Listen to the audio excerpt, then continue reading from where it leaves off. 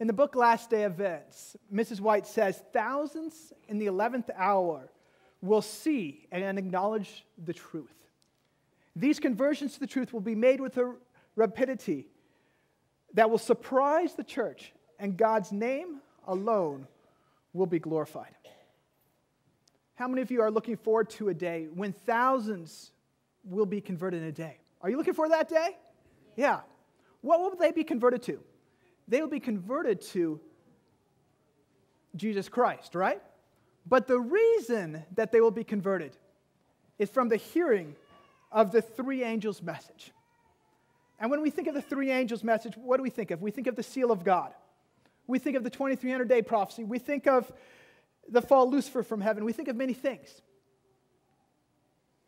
I don't know how many of you were excited when you heard that thousands would be converted in a day. But if thousands would be converted in a day, it means that you and I better know how to preach the three angels' message in a day. Does that make sense? Yeah? How many of you have a favorite movie? And if I asked you to explain that favorite movie to me in 15 minutes or less, you think you can do that? Yeah, you probably could. It's saying that movie was over 15, 20, maybe 50, maybe 100 years. You could probably still explain that movie to me, right? Now, how many of you could explain to me the great controversy in 15 minutes or less? That's a little bit more difficult, isn't it? Ah.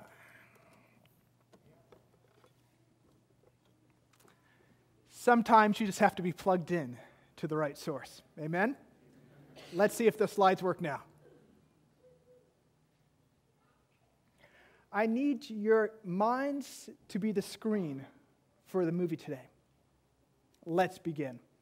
In Ezekiel 28 begins with the story of an angel by the name of Lucifer. And Lucifer is described as a covering cherub. Now, to understand what a covering cherub is, we have to go back to the book of Exodus. Exodus 25, God tells Moses to build the sanctuary, right? And inside this sanctuary, the most holy place, which was a reflection of God's throne room up in heaven, was a, a play, something called the Ark of the Covenant. And on top of that ark is the mercy seat, which represents God's throne. Now, in heaven, the foundations of God's throne is his law, right? What was and the law was what was in the Ark of the Covenant. Does that make sense?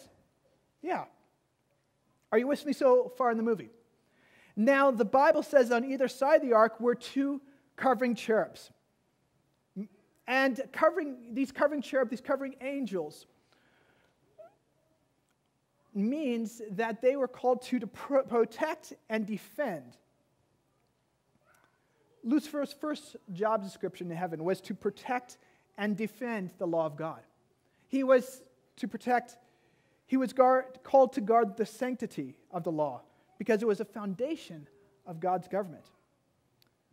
But the Bible tells us in Ezekiel 28 that Lucifer was perfect until iniquity was found in him. Now, help me out here. According to the Bible, iniquity is sin, right? And sin is the transgression of the law. So Lucifer, who was supposed to be guarding the law, ends up turning against the law of God.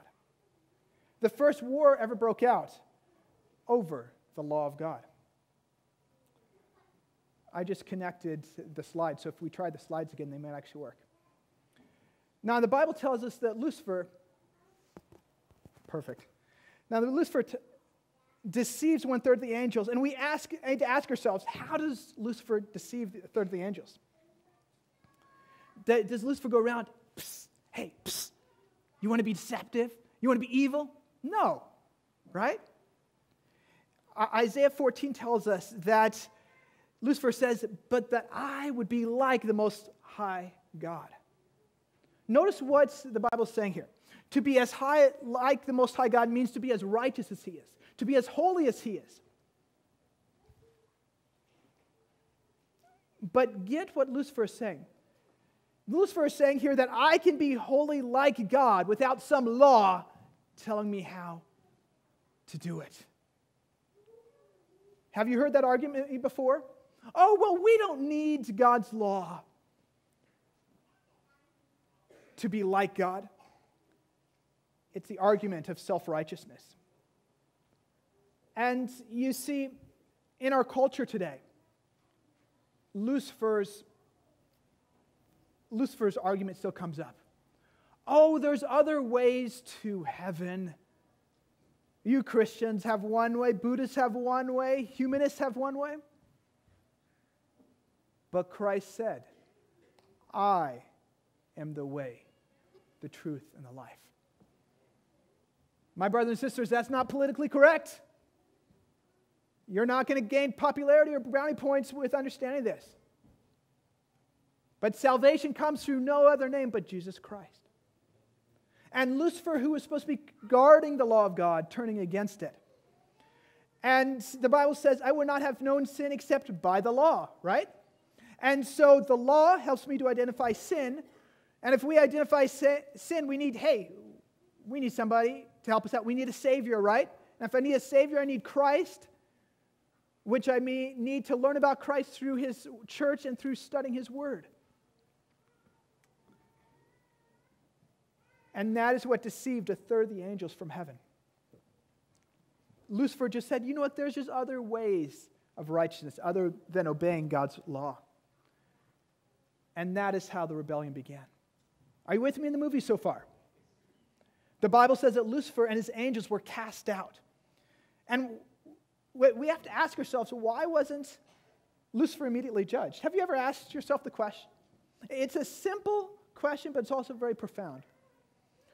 Whenever uh, in the book of Deuteronomy, Deuteronomy 19, uh, Moses lays out a lesson here that, that when there is conflict between two parties, there must be a neutral third party to discern between the two. When Lucifer's angels rebelled, how many parties were there in heaven? Two Lucifer and his angels, God and his angels. And for God to sit over a judgment at that time would have seemed to be unfair. It's kind of like you taking me to court and then you find out that I'm the judge. Well, good for me, bad for you, right?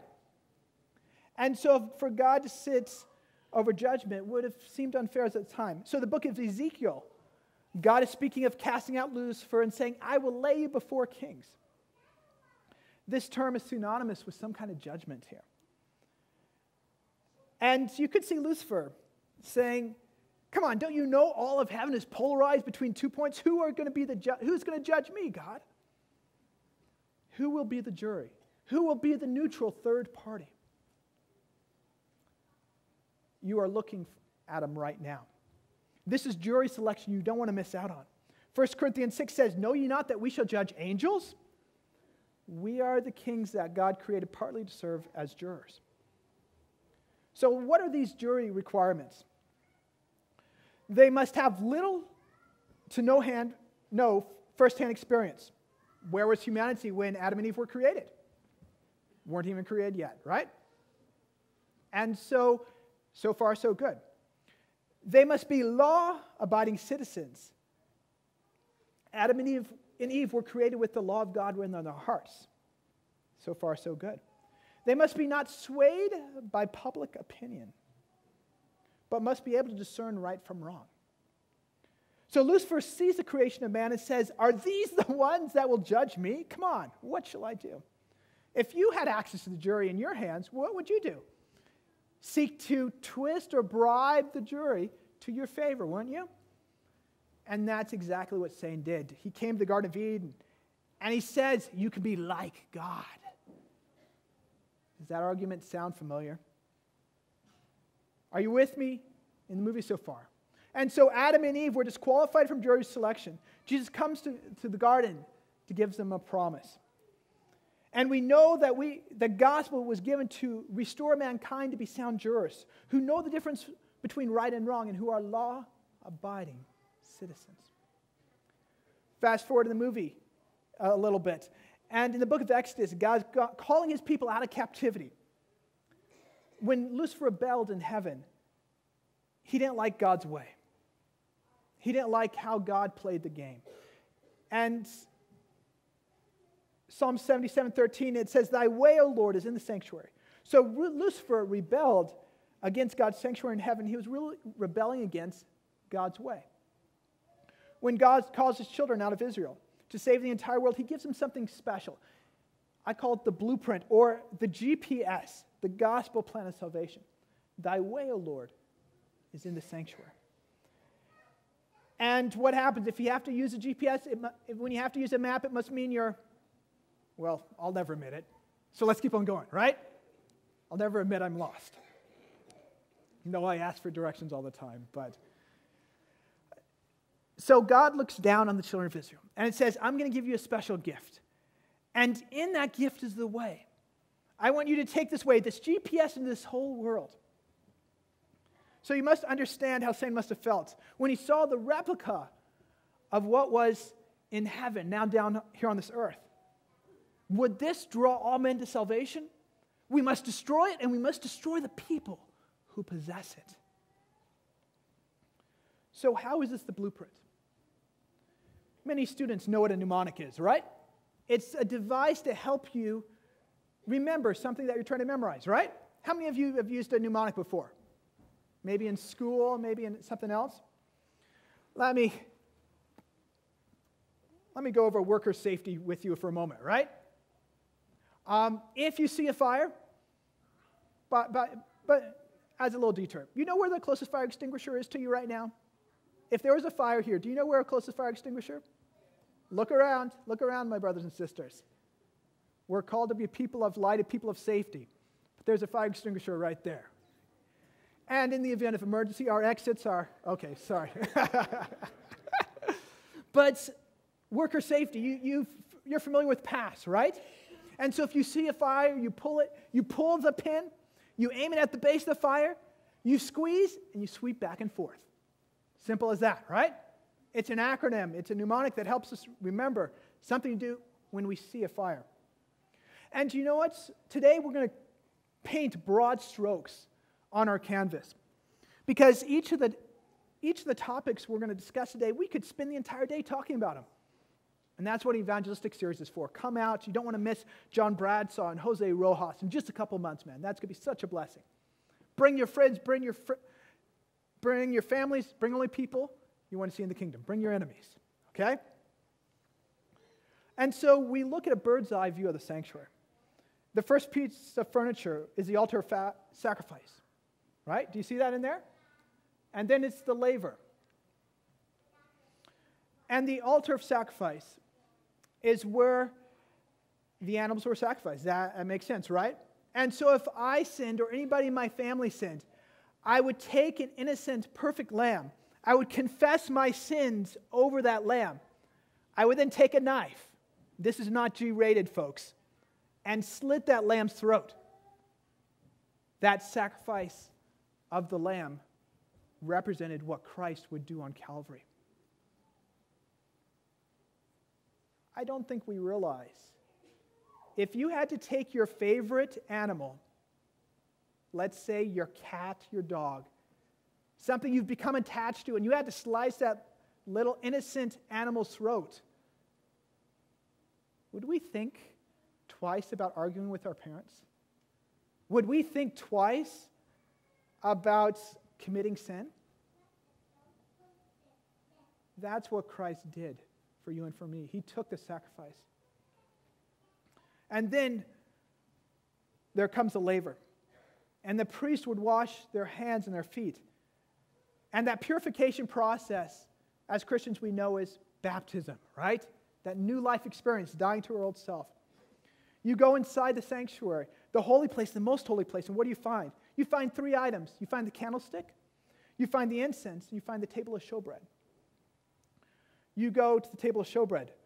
That represents God's word. Man shall not live by bread alone, but by every word that proceeds out of the mouth of God.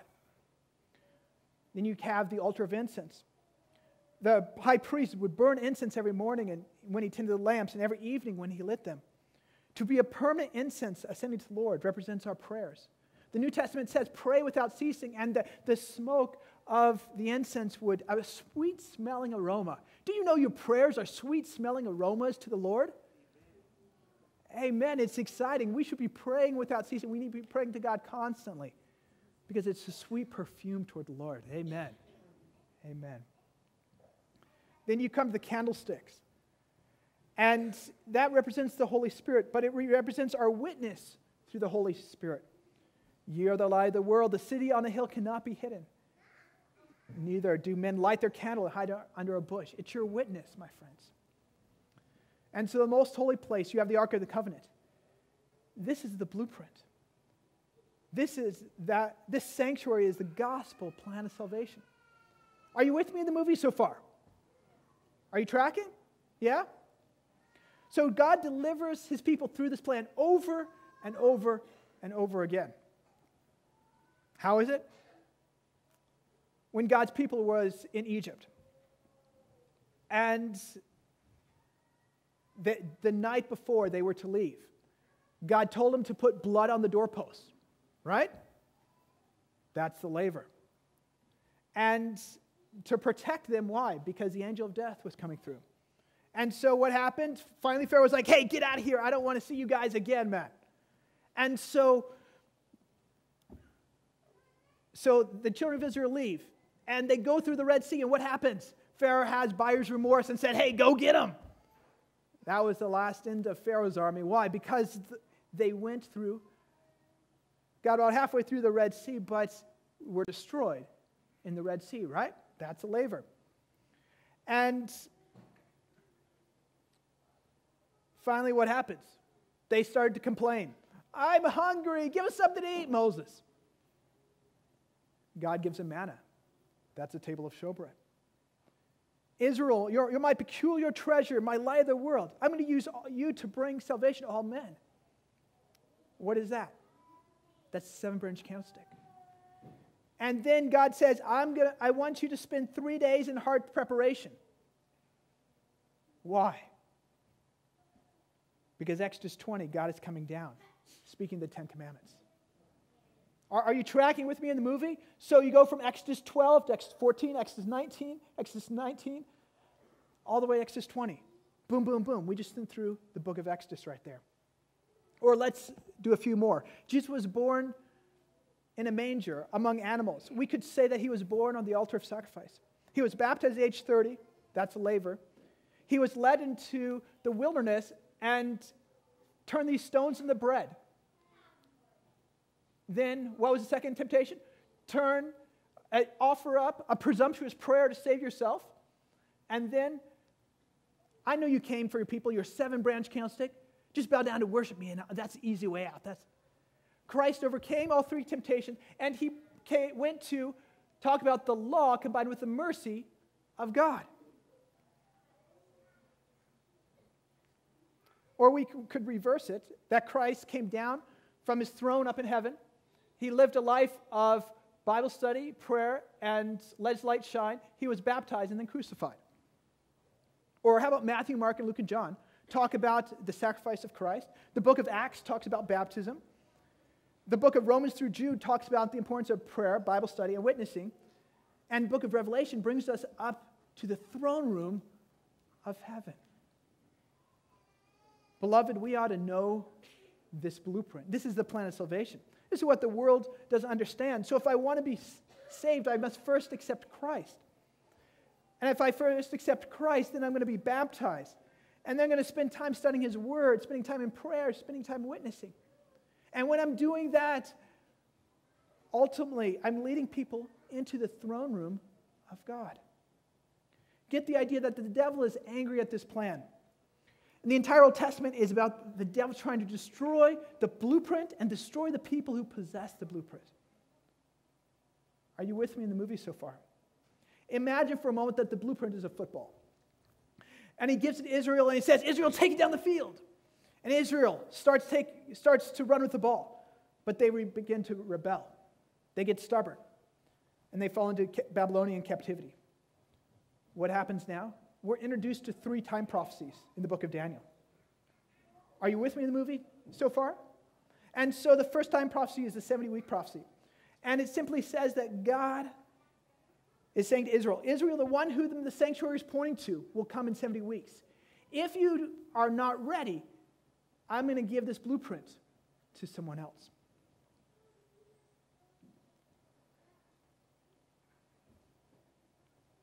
Guess what? Jesus comes, Israel rejects him, and Jesus dies. The veil of the temple is ripped from top to bottom, and after his resurrection, he ascends into heaven. And the blueprint for this blueprint is given from literal Israel and given to spiritual Israel. Guess what? We've gone through the entire Old Testament today. God gives the gifts of tongues so he can take the message of the heavenly sanctuary and the heavenly high priest into all the world. That's Hebrews. And off spiritual Israel goes down the field, and nothing can stop him. And Satan is saying here, I have to stop him. I have to stop him. What is, what is Satan to do? And so he raises up literal Israel to attack spiritual Israel. And then he raises up literal Rome to attack spiritual Israel. But every time a Christian dies, it just multiplies and multiplies and multiplies his work. So Satan is saying, you know what? I have to change my strategy. And now we're introduced to the second of the three uh, time prophecies in the book of Daniel, the 1260 years. And this prophecy is stay, simply stated that there will arise a little horn power and this little horn power will seek to cast down God's blueprint. Are you with me in the movie so far? Are you at the edge of your seats? Is this exciting stuff? Yeah. Wow. So the question is how does God use this little horn power to counterfeit? Because Satan never does anything original, it's always a counterfeit for God's ideal plan.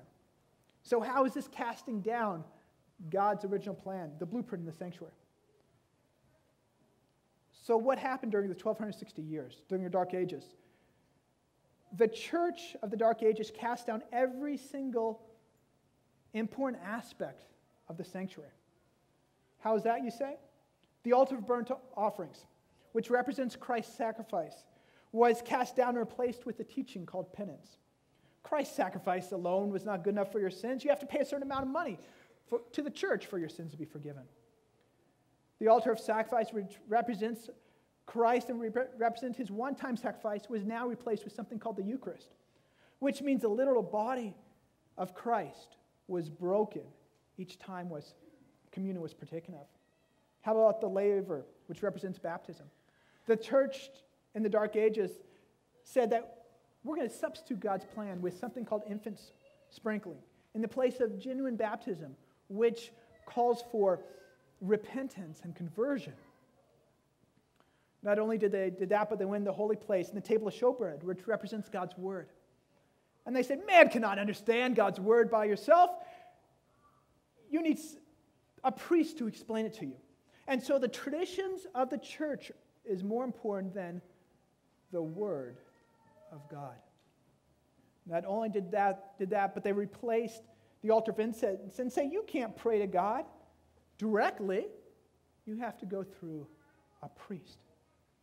And notice this, my brothers and sisters, they even created a two part chamber, just like the holy place and the most holy place, with a man sitting in the place of God, hearing the confessions of other men. Is that not symbolism for the holy and most holy place right there? Wow. They put out the light of the church. They said, hey, you can't witness, you can't share your faith, thus creating the dark ages. The Ark of the Covenant, which talks about the mercy seat and the judgment of God, we'll replace that with a thing called purgatory. Someone has to pay and suffer to get to heaven. There's no such thing as a judgment.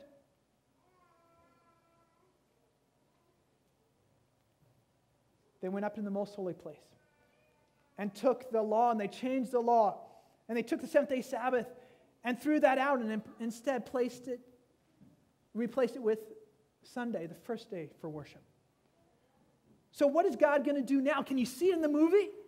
It seems like all the sanctuary, all God's way is lost. What is God going to do now? But there's one more time prophecy. And this prophecy stated at the end of the 2300 year prophecy, at that time the sanctuary shall be cleansed. And some Bibles say that the sanctuary will be restored. So let's watch. Over 500 years, how God restores every truth that was put down during the Dark Ages. There was a man by the name of John Wycliffe. He comes onto the scene in 1300s. John Wycliffe, what he does is he translates the Bible in the common language, thus restoring the, the table of showbread. Even right now, you have Wycliffe Bible translators that are active today, translating the Word of God in different languages. Do you know today there are 6,000 people groups that have yet to hear the Word of God? Man, we need to be active in sharing our faith around the world. And so in 1300s, he, Wycliffe pretty much restores the table of showbread. You know what? If I live in 1300s, you better believe I would be following this guy all around, man. Because, man, this is good stuff, man. The Word of God, you can read in your own language. I don't think we realize the significance of that. Because we have it in our phones, we have two dozen copies at home, we have it on the internet. But imagine you can't read the Bible in your own language. The only thing you knew about God was through stories and by going to church. You don't realize the significance of what John Wycliffe did to revolutionize the, our Christian walk. And so in, 13, in 1300s, you better believe, I'd be following this guy all around. In the 1400s, a man by the name of, John, of Martin Luther comes on the scene. And what Martin Luther does in the 1500s is restore the truth about the sacrifice of Christ.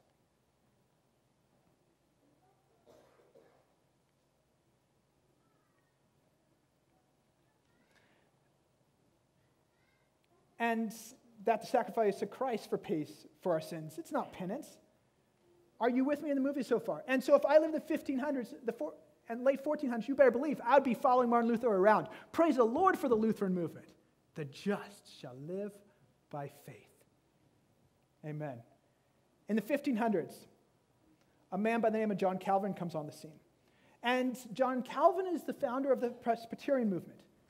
And he has a special burden about prayer. He says you can go at this radical idea that you can go directly to the throne room of God. You don't need an intermediary like the priest. Man, those are fine words for them back then the 1500s. You better believe. And so he restores the altar of incense. You better believe that in this time, I'd be following this guy all around. I would be a Presbyterian. Amen? Can you see how the ball is being passed from one movement to another to another? That truth is ever progressing. That's why we call it progressive revelation. Don't be content with what you learned about God 30 years ago. God has something new and fresh for you today. Your walk with God should be ever continuing and growing and learning. In the 1600s, a man by the name of John Smyth comes on the scene. And through Bible study, he realized that, you know what? You've got to be fully immersed to be baptized. You can't do any of this infant sprinkling. And that's to be baptized, you need to um, confess and repent from your sins. John Smyth in the 1600s, started the Baptist movement. You better believe it that if I was in the 1600s, I would be a Baptist. Praise the Lord for the Baptist movement. In the 1700s, a man by the name of John Wesley comes on the scene. And he is part of the Methodist movement. And he has a special burden to get the gospel out to the entire world, thus effectively restoring the seven branch candlestick. So let your light shine. Now, in the 1700s, you better believe it. I would be following John Wesley all around. Hey, wait a second, I'm still doing that, aren't I? Praise the Lord for the Methodist movement. And what is the last piece of furniture to be restored? What movement would God call up in the 1800s, my brothers and sisters? To restore the missing piece of furniture. William Miller in the 1800s comes to restore the last piece of furniture, the Ark of the Covenant, which is all about what? About the judgment, about restoring the Ten Commandments. This is a unique message, my brothers and sisters. You are not part of another movement. God has called you for such a time as this. That's why the first angel's message goes out to all the world. For this gospel could not have been preached in the Dark Ages because this had not been restored. But by 1844, everything had been restored. Listen to me. All Seventh day Adventists are, or Baptists, Lutherans, Methodists, Presbyterians. We just kept the truth and we kept it going. Do you see that? I shared this experience before, but I was in an elderly lady's home a couple years ago as a Bible worker. And she was wondering why, in a small town of 500 people, that there were two Lutheran churches. I love how God sets these things up because just a couple hours before, I was talking with my neighbor who was a Lutheran minister, and I asked him the same question. And so she, I explained to her the difference between Missouri Synod and Norwegian Lutheran. And you could have seen the look on her face when she's like, I don't believe that. I don't believe that. I had to politely say, Well, you may not believe it, but this is what your church believes. Unfortunately, there are many people today that go to church, but they really don't know what their church believes. Are you that person? Are, are, have you been going to an Adventist church and yet you're not quite sure what Seventh day Adventists believe? Talk to myself. Talk with Pastor Wesley or Pastor Kim. We'll be happy to sit down and start explaining the precious truth that we have. In 1982, there was a football game, Cal State versus Stanford, and it was merely called The Play. Four seconds left on the clock. You can look it up on Wikipedia. Cal State was down by one point. The band had already begun to celebrate. All Stanford had to do was to kick the ball off, and they figured, hey, we got this, man. The game is over. Four seconds. What's the other team going to do in four seconds, my friends? What are the odds? So they kick off the ball, and down the field they ran. Cal State gets the ball, and they begin running. And the first guy is running, but just as someone tackles in, he passes the ball off. The second guy is running. And by this time, the other band is on the field. They think, hey, man, let's celebrate. Yeah, we've won this game. But the second guy is running. The commentator is raising his voice because the second tie, the second guy, he, he gets tackled and he falls. But just as he falls, he passes the ball off. The people are on their feet screaming. The second guy gets tackled, but he passes the ball off. The third guy, the fourth guy, the fifth guy, the sixth guy, he runs in the end zone. The game is over. Listen to me, the devil's band is on the field. They think you, as Adventists, are beaten people. All I'm saying is get up and finish the game. I can see the angels cheering for us like we would be on the game, and they're saying, Take it to the end zone, take it to the end time. There's no time left. 1844 was the last time prophecy. They're cheering for us. And God's people goes down the field. The first angel's message, the second angel's message, the third angel's message. And the third angel, three angels' message sums up with this. It's no more than the message of Noah. Get in to the ark. Get into the ark before it's too late, because the seal of God, the Sabbath, is found in the ark. Because if you're not in the ark, you are marked for death. The angels with the seven last plagues are seen coming out of the most holy place. Why? Because those who receive the place are those who have rejected what was found in the most holy place. Our message is simple get into the ark. Psalms 91 says, He who dwells in the secret place the Most High shall abide in the shadow of the mighty. You jump down to verse 10 says, No plague shall destroy you. Jesus comes, he cracks the sky. The dead are raised and go to heaven for jury duty. When the books were opened in 1840, Satan accusing God's people, and the reason that the books were opened is not to condemn you, but to prove Satan is a liar. Well, when Satan says, Well, he did this and Jonathan did this, God says, Well, my book says they repented. You see, the books contain key evidence to save you, not to destroy you. Do you see how God tw- oh, or how Satan twists that to make judgment something we're fearful of? So the angels say, Just and true are your ways, you judge righteously. And now the judgment begins at the millennium. They too get to see the books and they join the chorus and say, Just and true are your ways, O God. And now we get to the end of millennium where God comes down and resurrects the wicked dead. The wicked dead are resurrected. The world turns into this giant movie theater that the world has ever seen. We are told in panoramic view, each will re, everyone will watch the movie, Earth's final movie. Ellen White says that each actor will recall his role. I want you to see this is reality, D, re, reality TV. This is not make believe. I don't want to be come to a point. And my neighbors and friends said, You saw this movie? You didn't tell me? You told me about the Lego movie. You told me about Frozen. You told me about The Hobbit, but you didn't tell me about the movie that could have saved my life?